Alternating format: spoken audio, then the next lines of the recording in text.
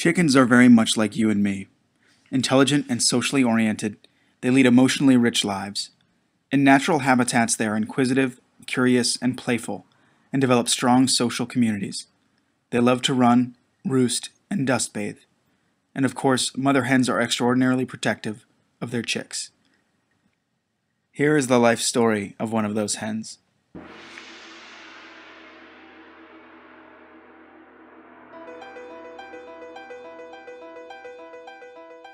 Hi, my name is. Well, I don't have a name. I'm a chicken, a hen to be exact. I was born in a hatchery that sells young hens to America's egg companies.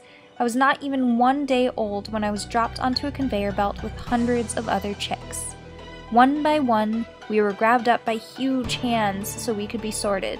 The boys were dropped down one chute and the girls were dropped down another. I heard that the boys were sent down another conveyor that poured them into a chute that ground them up alive, all because they aren't valuable to the egg industry. Isn't that horrible? Then someone grabbed me and shoved my face into a device that seared off nearly half my beak. It cut through sensitive nerves, and I was in so much pain that I could scarcely eat for days. Over the next few days, some of the chicks around me died from dehydration and weakened immune systems, but I managed to survive. I thought I was a lucky one. I was then thrown into something that they call a rearing cage, where they wait for us chicks to grow up. Instead of running outdoors or dust bathing, I grew up standing in the dark amid muck. After a few months, I was put in a crate and trucked to a factory farm.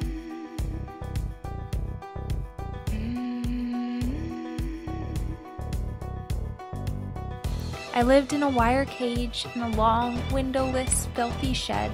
More than a hundred thousand hens were around me. My feathers wore away, and I suffered constant scrapes and bruises. We were all so tightly crammed together that we had no choice but to urinate and defecate onto one another. The ammonia from the airborne urine droplets would eat into my lungs. After a few months, one of the birds in the cage died, and began to rot as we laid just one egg with each passing day. Her body was never removed from the cage. Yet somehow, I survived. And again, I thought I was a lucky one.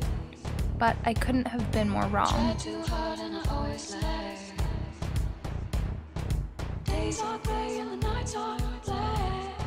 Once my egg production dropped, I was torn from the cage and thrown into a dark, eerie chamber on wheels. And that brings me to now. My body landed atop other hens who are shrieking and flapping.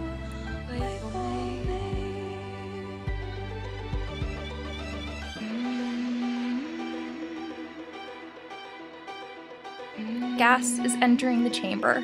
Birds around me are falling limp, life drained from their bodies. I know I'm next, but I don't want to die. This time, I'm not going to be the lucky one. In fact, in these moments before death, I realized that I never was.